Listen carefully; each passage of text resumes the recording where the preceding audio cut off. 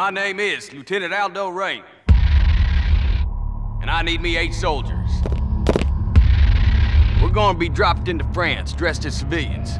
We're gonna be doing one thing, one thing only.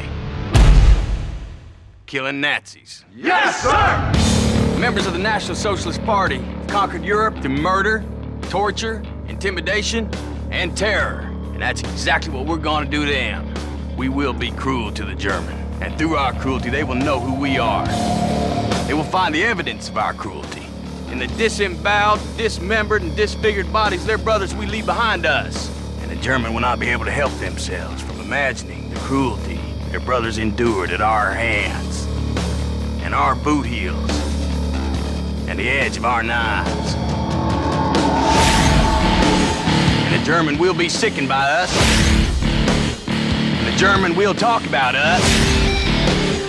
And the German will fear us. Nazi ain't got no humanity. They need to be destroyed.